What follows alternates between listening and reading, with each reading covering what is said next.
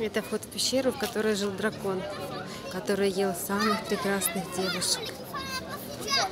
Ну в итоге его победили.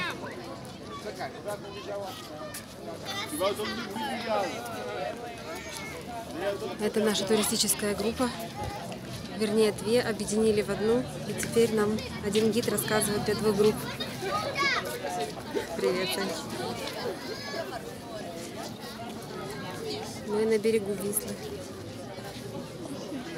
по которой плавают и лебеди, и лодочки. А этот дракон раз в 4 минуты извергает пламя.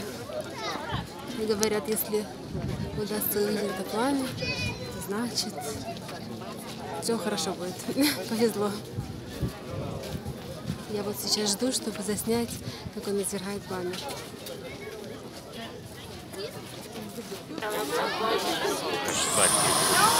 Вот. Мы увидели, и нам повезет.